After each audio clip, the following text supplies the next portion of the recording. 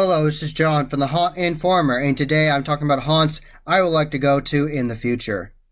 I've been to a lot of haunted houses, and I've had a really good time doing it, and I can't wait to see more. But there are lots of haunted houses on my bucket list that I've not seen yet that I would really like to see at some point. I don't know if I'll be able to see them this year, but definitely in the future at some point. The cards will line up just right in the future, hopefully for me. And I would love to go to the south and see mobile haunts like Netherworld and 13th Gate.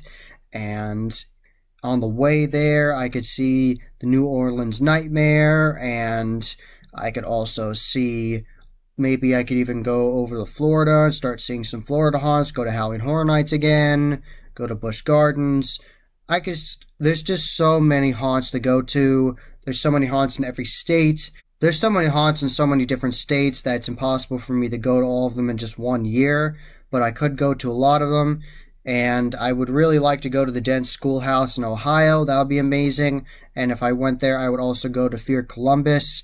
That is in Columbus, Ohio. So there's all kinds of great things out there. In Akron, Ohio, there's the Haunted Schoolhouse and Laboratory. I'd love to go there.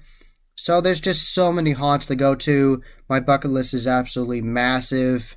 My bucket list is pages and pages long. I'd like to go to the Haunted Hoochie at Dead Acres just because how crazy it is and just off the wall it is and insane and all kinds of gory effects and crazy effects they do there that no one else does a very interactive over the top haunted house is Erebus. I'd love to go to Erebus in Michigan. That'd be a ton of fun. I've seen lots of videos of it from Travel Channel and different haunt specials over the years, and it looks absolutely insane with all kinds of custom effects. Like they have this custom like killer monkey character like a puppet that'll come out of the dark and like grab your legs and pull you into the dark they have a custom t-rex head custom pterodactyl they have a custom area where it looks like rock walls are going to hit you. They have an interesting effect where it looks like a prop body is going to come at you and it like shoots out of a casket.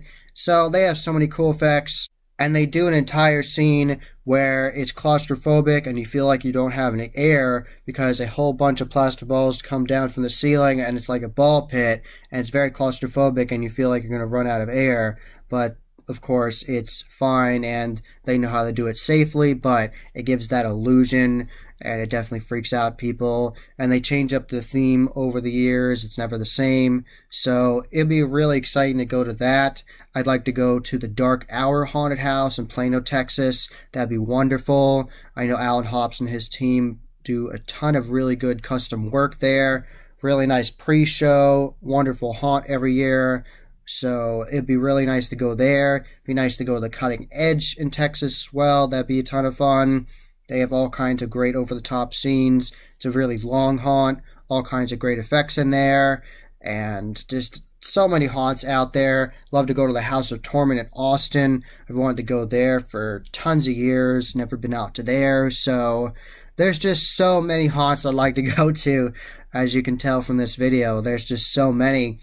And I've only scratched the surface. I've only talked about a couple haunts from different states. There's just so many across the whole United States. There's just so many places to go to. Of course, I'd like to go to the Edge of Hell and the Beast in Missouri. That'd be a ton of fun. And there's haunts in California I'd like to go to. I've never been to Knott's Scary Farm. Never been to Halloween Horror Nights Hollywood. I've never been to the Reign of Terror. So there's just so many places and yeah, it's just there's just so much. And there's Mad World. I'd like to go to Mad World at some point. That'd be nice. And just there's just so many places. There's just so much. And I've never been to Bennett's Curse in Maryland. I'd like to go there. That'd be fun. And the Hotel of Horror in Saylorsburg, Pennsylvania. That'd be fun to go to. It's really creepy and grungy and has all kinds of custom effects and that you won't see other places. And I actually talked to multiple scare actors from that haunt hotel horror, and you can check out that video in the corner. Did an interview with Glenn for Fall Informer there. So there's just so many haunts to go to, tons and tons of haunts, massive list I have, and I just I just love going to haunted houses. They're just so much fun. I love the adrenaline rush of it, the fun scares, the great set design. Just I love the whole art of it. It's just so much fun and it's just a great time out. It's a really fun time year round. I love off season haunts as well when they can take an existing haunt and then change it up and add different decorations and different theming and sound effects and scare effects and I just love it all. So I like haunted houses 365 days of the year. I've already had the opportunity to go to multiple really good haunted houses, and I'll have my playlist with haunted attractions linked in the corner. And I went to the Transworld Haunt Show and had a ton of fun there. Did multiple interviews and videos with people, and I got to go on the Windy City bus tour. So I'll have my whole playlist about the Transworld Haunt Show in the corner for you, and you can check that out if you are interested. So stay tuned to this channel. I'll have all kinds of new, scary, and spooky content out in the future. More interviews with haunt owners, scare actors, more information about the haunt industry and haunt attractions. So there's lots to look forward to in the future. That was the Haunt Informer. I hope you enjoyed. Subscribe and hit that bell icon so you get a notification every single time I put up a new video. Give this video a thumbs up and share with your friends. And I'm on social media. I'm on Instagram, Facebook, and Twitter. You can find all those links in the description below. And as always, happy hauntings.